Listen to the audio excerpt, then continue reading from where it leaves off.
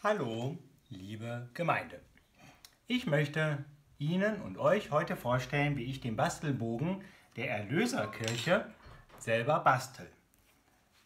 Wenn ihr den Bogen bekommt, dann sieht der so aus und hier drauf gibt es sogar schon ein kleines Foto, wie die Erlöserkirche nachher fertig aussehen wird. Das da unten ist St. Theodor, das ist die andere Kirche in Pfingst.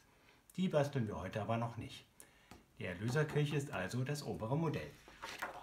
Ich habe die Bögen schon einmal ausgeschnitten und um das basteln zu können, braucht ihr ein paar Werkzeuge, die wichtig sind zum Basteln. Das erste ist ein scharfes Messer, das nennt man ein Cuttermesser. Das hat also eine sehr spitze, scharfe Klinge. Ein, ich sag mal, Bastelmesser. Das Bastelmesser hat eine sehr stumpfe Klinge da kann man sich auch nicht dran schneiden. Das ist wichtig, wenn ihr nachher die Teile ritzt, damit man die leichter falten kann, dass ihr nicht, die nicht durchschneidet. Dann braucht ihr ein Lineal, wo ihr dran entlang ritzt. Uhu, ich nehme am liebsten Alleskleber, Uhu Alleskleber, weil man den auch so rubbeln kann und dann geht er wieder weg. Und einen Bleistift, denn mit dem Bleistift könnt ihr die Bauteile, die draußen beziffert sind, noch mal kurz auf der Rückseite durchbeziffern. Das heißt, ich fange, ich glaube die Grundplatte ist klar, das Bauteil 2 ist also das hier und wenn man so ein bisschen gegen das Licht guckt, könnt ihr also die 2 auf die Rückseite schreiben, die 3 auf die Rückseite schreiben, die 4 auf die Rückseite schreiben und auf dem nächsten Bogen, auf dem hier, schreibt ihr die 5 auf die Rückseite und die 6 für das Dach. Und auf dem letzten Bogen die 7 auf den Turm. Auf die Weise könnt ihr nachher die Bauteile, auch wenn ihr die ausschneidet, noch nach den Nummern wiederfinden. Die Grundplatte selber ist also eine ganz normale Pappe, aber die klebe ich auf eine dicke Pappe nochmal, damit das nachher alles ein bisschen stabiler ist und nicht sofort beim ersten Anheben oder wenn ihr euch irgendwo drauf stellt, ähm, nicht so gut funktioniert. Jetzt hatte ich gerade noch überlegt, ich nehme den U, aber ich nehme den ganz normalen. Dafür klebe ich ein bisschen am Rand entlang und dann in der Mitte noch ein bisschen.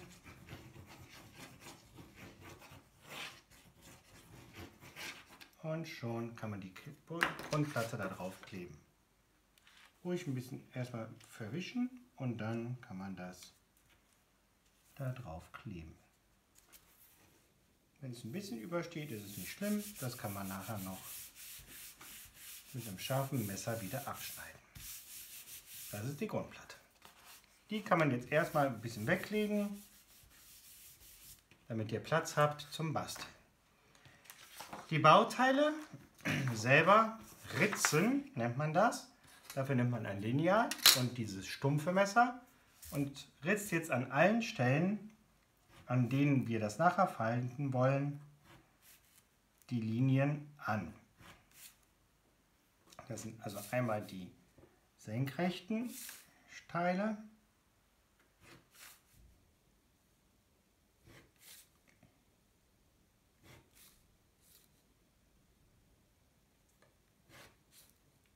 und dann die waagerechten Teile sozusagen.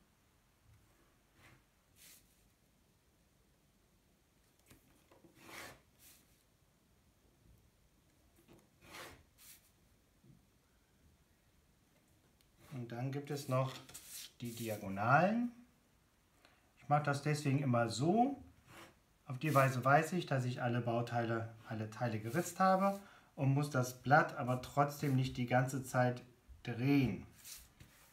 Dadurch spart man ein bisschen Zeit, wenn man Zeit sparen möchte. Jetzt habe ich also alle Teile geritzt. Das System ist, immer da zu ritzen, wo auch diese kleinen Ecken sind an den Klebelaschen. Dann weiß man also, da wird das Bauteil nachher auch noch gefaltet sein. Also an diesen Linien und natürlich bei allen Klebelaschen. Erster Bogen ist fertig, der zweite Bogen kommt, auch hier wieder überall, wo die Klebelaschen sind.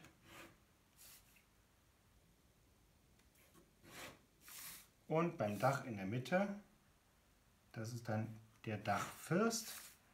Hier ist noch eine Diagonale und zwei senkrechte. Wieder zwischen den kleinen Klebelaschen. Als letztes Bauteil kommt der Turm.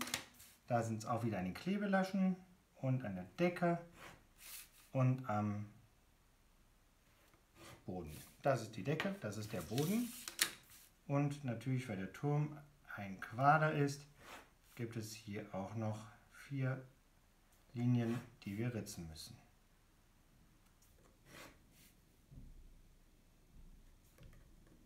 Jetzt brauchen wir das Ritzmesser erstmal nicht mehr, sondern wir nehmen das Schneidemesser und gehen genauso, jetzt bloß immer am Rand des ganzen Bauteiles entlang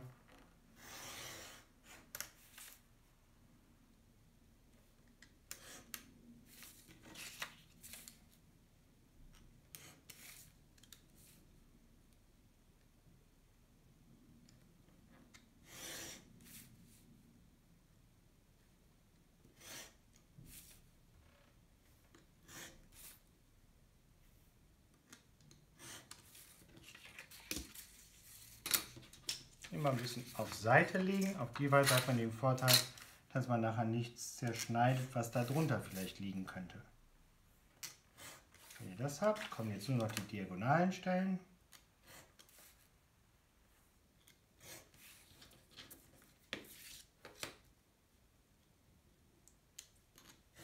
Und dann sind die Teile schon mal grob ausgeschnitten den Müll immer schön weglegen. Dann kann man nachher auch die Bauteile, die man sucht, wiederfinden. Wie die Diagonal.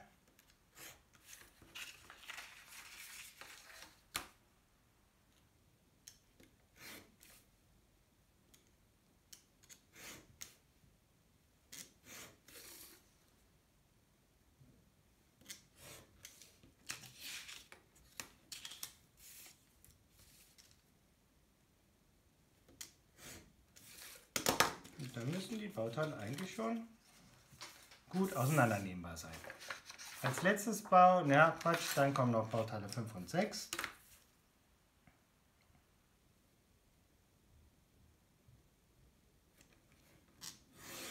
Da kann man sogar ganz am Dach schon entlang schneiden. Hier wieder ein kleiner Schnitt.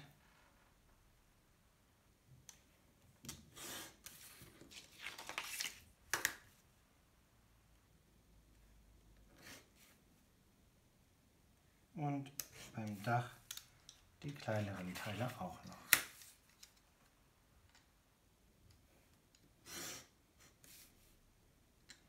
Ihr merkt das, ich mache die Linien immer relativ großzügig geschnitten. Das hat den Vorteil, dass man nachher die Bauteile ziemlich leicht auch rauslögen kann.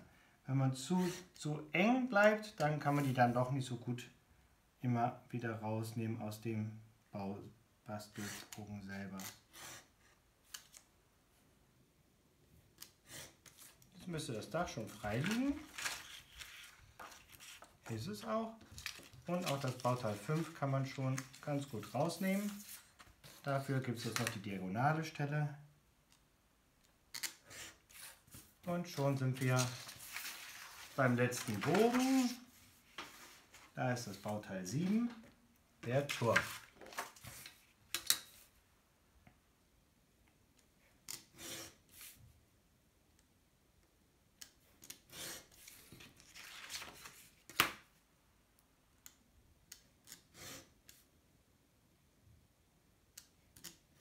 Bisschen aufpassen, dass man nicht die Deckplatte oder die Bodenplatte durchschneidet. Da muss also ein bisschen aufpassen. Wenn ihr das habt,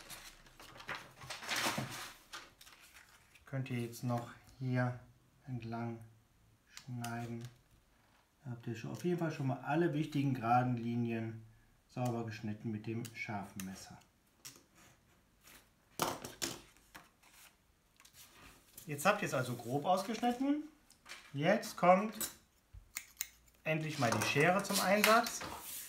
Die Schere brauchen wir jetzt immer dafür, um das, was jetzt noch übersteht, abzuschneiden. Also die kleinen Ecken. Ich mache das immer reihum erstmal. Das ist wichtig, damit man nachher das Bauteil leichter zusammenbasteln kann.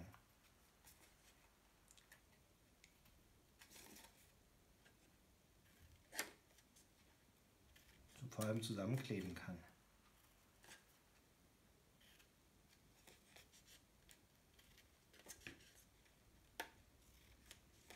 Der Turm sieht dann also so aus. Eine Ecke noch raus tun. Das Dach ist ja schon fertig. Also kommt jetzt das Bauteil. Jetzt sieht man nämlich auch noch immer den Namen drauf, das Bauteil 5.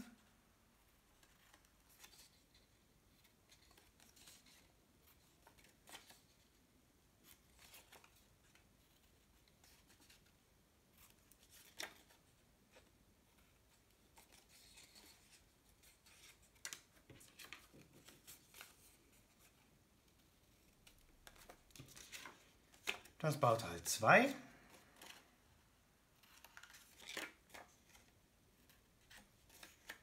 Hierbei merkt ihr, es ist auch nicht so wichtig, jetzt die Reihenfolge einzuhalten, weil man dann immer ja noch die Bauteilnummern auf der Rückseite der Bauteile hat.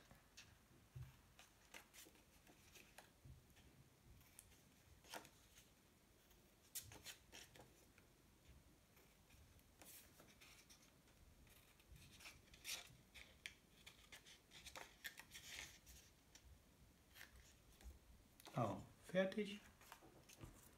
Bauteil 4.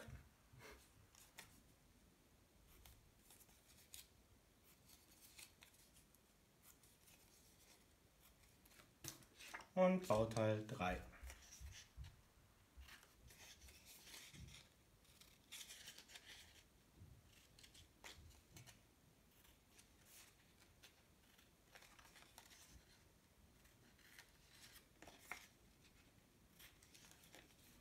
mache das immer ganz gerne, dass ich rein umschneide. Das heißt, erstmal in eine Richtung, dann drehe ich das Blatt um und schneide in die andere Richtung.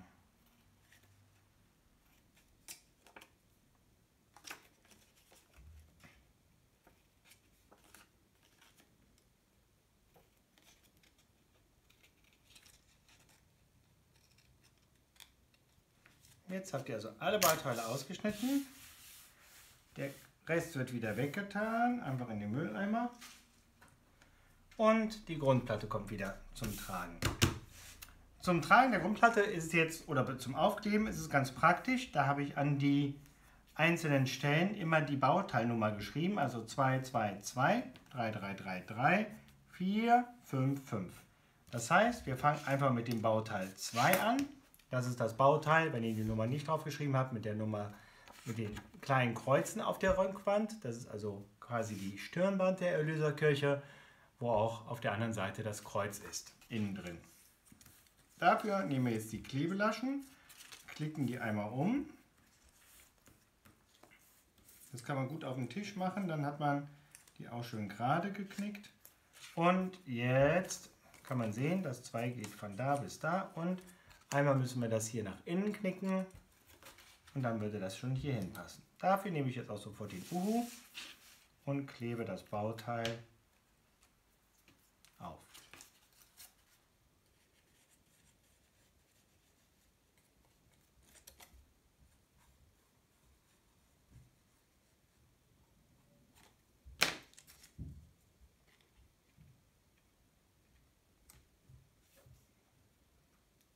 Beim Aufkleben klar drauf aufpassen, dass es schön auf die Linien sitzt.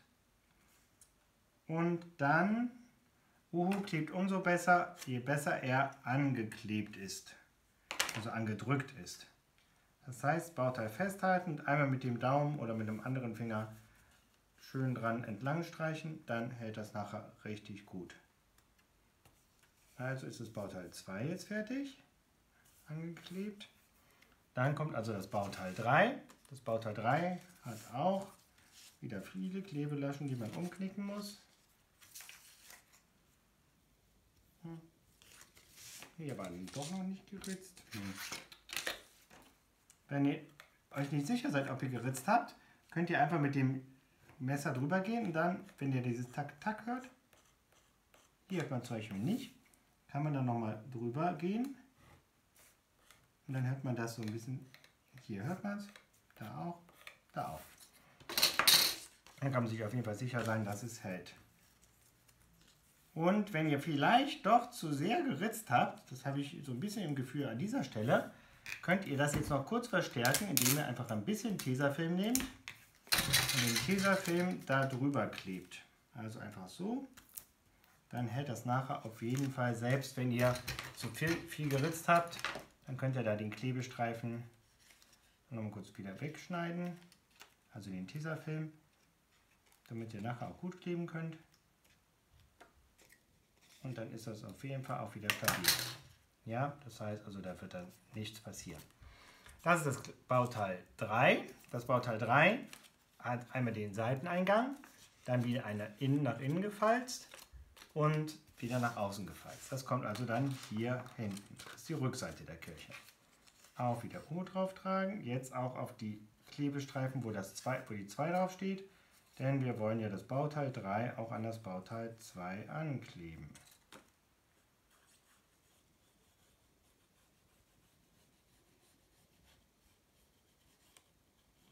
drauf. Ich mache das immer ganz gerne so, dass ich das eher nach innen tue, weil innen sieht man den U nicht so, wenn man es verschmiert. Und dann kann man es langsam vorsichtig an die Außenlinie drücken.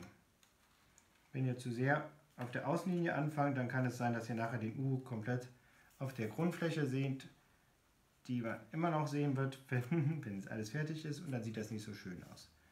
Wieder andrücken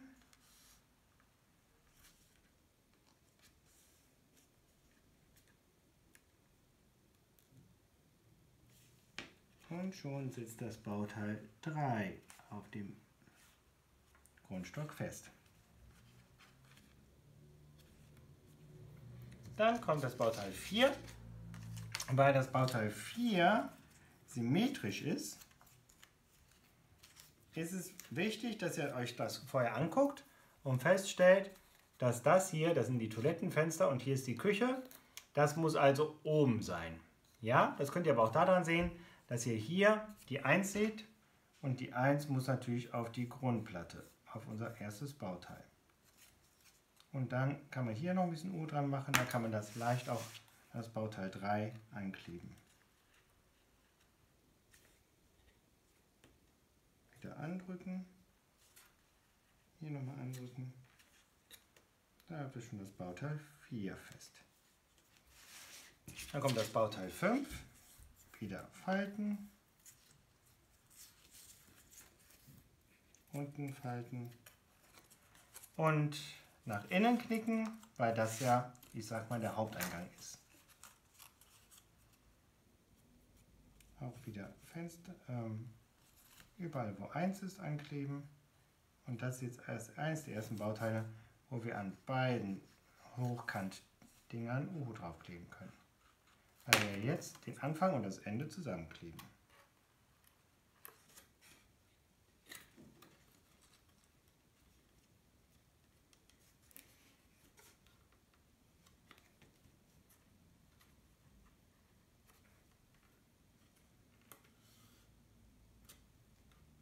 Jetzt seid ihr also schon mit allen Wänden fertig, die dieses Gebäude hat. Ich finde es immer ganz gut, die Wände jetzt auch wirklich trocknen zu lassen und damit da wir dafür Zeit haben und trotzdem die Zeit nicht verschwenden, machen wir also jetzt erstmal nicht das Dach drauf, sondern den Turm. Ein Turm ist ein ganz normaler Quader. Für den Quader einfach die Kanten einmal an dieser Seite, dann unten die Klebelaschen oben die Klebelaschen und die Decke schon mal vorknicken und dann die lange Klebelasche ankleben.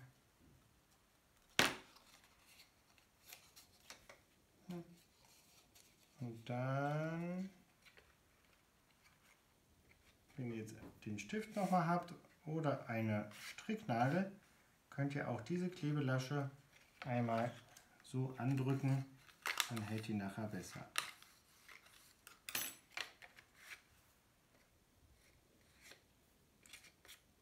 Jetzt ist die also so.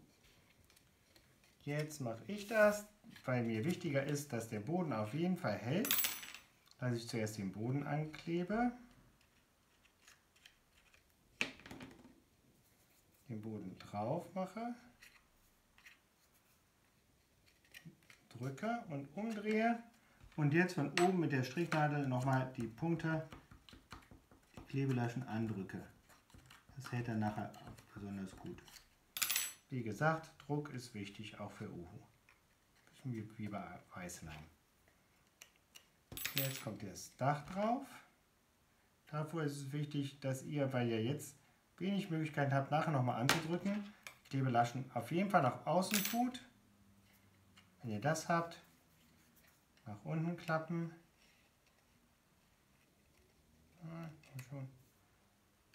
Und auf Position bringen bisschen festhalten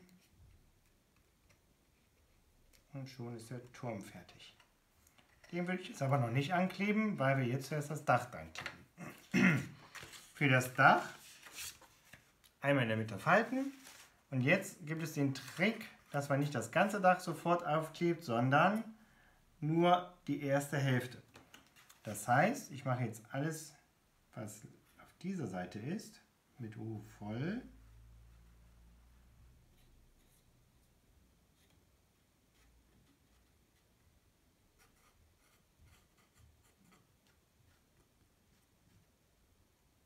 bis zum First, aber nicht auf der anderen Seite. Jetzt tue ich das Dach drauf und gucke, dass das hier schon mal mit dem First passt. Unten ein bisschen hält. Und wenn ich das habe, das also schon eigentlich ganz gut sitzt, dann kann ich nochmal das Dach aufklappen, hier festdrücken, da festdrücken und wenn ich das habe, das ganze Dach sogar einmal ganze Gebäude umdrehen und jetzt müsst ihr euren Fingern vertrauen, einfach entlang fühlen, da wo die Klebelaschen aufsitzen. Und dann kann ich dann nochmal richtig schön andrücken. Und selbst wenn ihr jetzt denkt, ah, ist das jetzt wirklich alles ganz gerade, hilft der Druck schon mal eine gute Position zu machen. Und wenn es jetzt noch ein bisschen schief ist, könnt ihr es einmal noch anschieben und dann sitzt das wirklich gut. Und dadurch, dass ihr jetzt auf jeden Fall eine Seite habt, die richtig gut festklebt an dem Dach, wird das Dach nachher auf jeden Fall auch das ganze Gebäude schön festhalten. Das ist das. Jetzt noch ein bisschen gucken. Ja, sieht gut aus. Und jetzt kommen noch die restlichen Klebelaschen mit Uhu voll machen.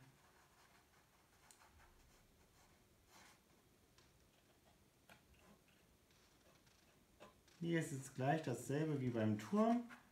Alle Klebelaschen ein bisschen nach oben ziehen. Ich zeige das mal also so dass sie auf jeden Fall nach oben gucken, selbst wenn die ein bisschen sind oder ein bisschen zu weit hoch sind, aber dann kann man das Dach drücken und das Dach kriegt auch einen richtig guten Kontakt zum Uhu. Und voilà, das Dach steht. Jetzt noch den Turm aufkleben. Und für den Turm ist es wichtig, dass die Tür, die der Turm hat, weg von der Kirche guckt dann passt alles richtig gut. Ja, dann habt ihr jetzt die ganze Erlöserkirche gebastelt. Uhu zumachen und das Modell der Erlöserkirche ist fertig. Wenn ihr dieses Video super findet, dann schreibt mir einfach unten rein oder links oben oder rechts oben. Ich weiß gar nicht, wo man das hinschreiben muss. Und dann würde ich auch ein Video von den anderen Modellen machen. Da müsst ihr aber mindestens 10 Leute gesagt haben, dass sie es toll finden, weil das Modell von der St. Theodor Kirche dauert echt lange. Da brauchen wir, glaube ich, zwei Stunden. Alles Gute und wir hören uns. Bis dann. Tschüss.